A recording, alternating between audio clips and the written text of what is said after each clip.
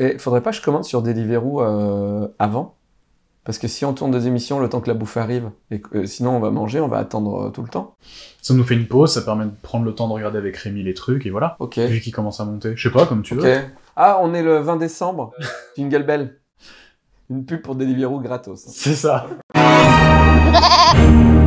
Bonjour, mesdames, messieurs, transgenres, singenres, du croquant, du croustillant, mauvais genre, badounette, c'est goûtu. Non, il dit pas ça. C'est Bad News. Bad News, c'est l'émission de l'autre actualité. On n'est pas là forcément pour rire, là. On est là pour faire un état des lieux de l'humanité. Croyez-moi, on a une belle brochette de cono. Bad News, c'est l'émission qui affirme ne pas vérifier ses sources. On commence tout de suite avec... Ça va, Thomas? Oui, ça va et toi, Davy? J'ai du mal à respirer. Ah On commence tout de suite avec le cadeau des abonnés?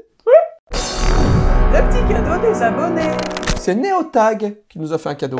T'as vu, aujourd'hui, j'ai regardé le nom de la personne avant. Avant, c'est pas mal. C'est malin, hein, c'est malin. Ils quittent alors le pays pour s'en aller gagner leur vie loin de la terre où ils sont nés. Tout bijou. Depuis longtemps, ils ont rêvé de la ville et ses secrets, du Forcia et du ciné. Je sais pas ce que ça veut dire. Les vieux. Ce n'était pas original. Il dit toutes les bonnes paroles. Il s'essuyait machinal. Il mélange tout.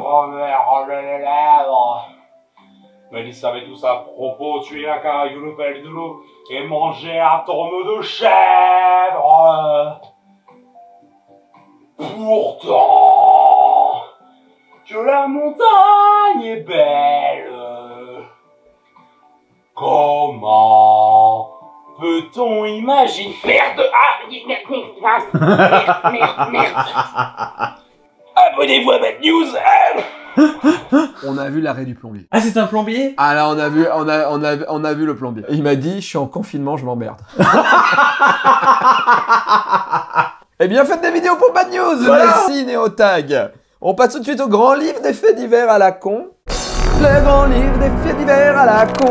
Quatre jeunes voleurs âgés de 17 à 25 ans ont osé, euh, après avoir cambrelé une villa sur les hauteurs de Monaco, et après avoir emporté des dizaines de bouteilles de champagne de luxe, ordinateurs et autres objets de valeur, ainsi qu'une superbe Mercedes AMG, pour un butin de 200 000 euros. En fait, ils ont volé la bagnole. Ils ont mis tous les trucs à l'intérieur, ils sont rentrés chez eux, ils ont laissé la bagnole garée devant chez eux.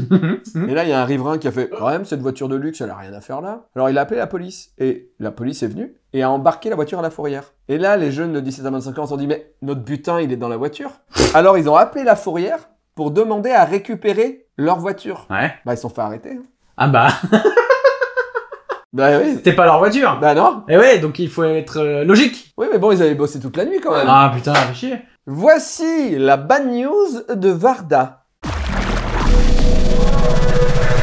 Alors voici une histoire qui est arrivée à un collègue à lui qui est naturaliste. Mhm. On dit naturaliste. Alors naturaliste, c'est un, c'est pas un nudiste, Non, non, non. c'est un taxidermiste. Ah, oui. D'accord. On dit plus le mot Ah ouais? taxidermiste. On l'utilise quasiment plus. En fait, maintenant, c'est des naturalistes. Pourquoi on dirait pas des Uber dermistes Pourquoi Uber? Taxi? Ok.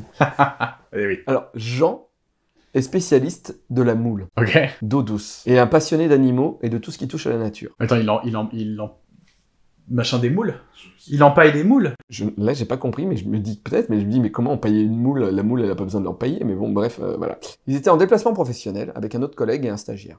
Après avoir fini sur le terrain, ils rentrent tous les trois à l'hôtel, sur la route. Jean remarque une fouine morte sur le bas-côté. Il adore collectionner les crânes d'animaux et se dit que ça ferait un super cadeau pour ses filles. Il ramasse donc la fouine, qui en plus était en parfait état.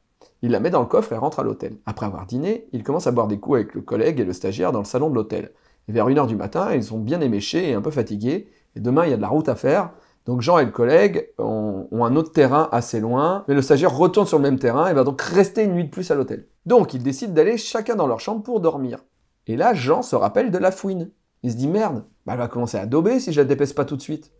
Donc, bourré à 1h15 du matin, il va chercher dans la voiture le corps de la fouine, la ramène dans sa chambre, dans un sac poubelle dans sa chambre. On parle pas du rappeur, hein Non. J'aimerais bien que quelqu'un empaille la fouine, mais, mais, quand- mais pas, pas tout de suite, pas tout de suite. Oui. S'il arrive quelque chose à la fouine, je ne souhaite pas, Oui, oui, oui. mais j'aimerais bien voir euh, la, la fouine empaillée un jour. voilà. Et là, toujours bourré, il commence à s'occuper de la fouine. Il ouvre le sac poubelle pour protéger le sol, pose la fouine dessus, et avec son couteau suisse, il commence à l'écorcher. Il sait pas trop quoi faire de la peau, donc il se dit qu'en attendant, il va la mettre au bord de la fenêtre. Sauf qu'en allant pour la poser sur le rebord, il met du sang un peu partout, donc il essaie de nettoyer comme il peut. Ensuite, il sépare la tête du reste du corps et termine d'écorcher la peau, et la tête dans l'évier. Quand il enlève la peau de la tête, ça fait comme un masque, et pour déconner, il la pose sur une espèce de mini abat-jour de, lampe euh, à côté du lit. Et il termine de vider le crâne dans l'évier, sauf que les morceaux de cerveau finissent par boucher les petits trous de l'évacuation, mais bon, il se dit qu'il verra demain pour nettoyer parce qu'il est crevé, et il va se coucher. Le lendemain matin, il est réveillé par son collègue qui l'appelle parce qu'il faut partir, ils sont à la bourre. Du coup, Jean émerge, encore à moitié bourré, et euh, il récupère le crâne de Fouine, il met le corps dans le sac poubelle, il sait qu'il n'a pas eu le temps de nettoyer correctement l'évier et le sol, et il part. Et il dit à son stagiaire, euh, surtout ce soir, tu dors pas ici. hein. Tu trouves euh, un autre hôtel, je t'expliquerai. hein. Son stagiaire dit ok, ok, ok. Et tout le monde prend la route. Sauf que quelques temps plus tard, il reçoit un appel de son stagiaire. Le stagiaire avait eu la flemme de chercher un autre hôtel. Et il est revenu le soir au même hôtel. Et là, il a été accueilli par tous les employés qui lui ont dit Et vous osez revenir? Jean avait oublié la peau du corps sur le bord de la fenêtre, dont le sang avait dégouliné sur la façade, et la peau de la tête sur l'abat-jour. La femme de ménage a dû avoir une sacrée surprise en allumant la lumière. Putain, c'est dégueulasse. Oh putain Voilà, t'avais oublié ton micro. Il est le sol et il part. Il dit à son stagiaire, surtout ce soir, tu dors pas ici. Tu, tu trouves euh, un autre hôtel, je t'expliquerai. Oui, et je viens de le voir qu'il était là. Alors, je pense que le son, euh, ça, je sais pas depuis combien de bad news il était accroché là. Je crois que tu l'as fait il y a pas longtemps. Oui, donc du coup, je me dis, bon, ça va, mais ma voix est pas très loin de cette zone-là où il était accroché, donc je pense que ça va. Mais bon, oui, je l'ai remis discrètement en mode personne n'a rien vu, et Ouais. bon, bah, tu l'as souligné. Ouais, ouais, je, le- je le souligne. Voilà, bah rendez-vous demain et Thomas aura un micro. à 17h45. Ciao Ciao. C'est sûr, ça va mal finir. J'ai pas vraiment l'esprit de Noël, c'est sûr.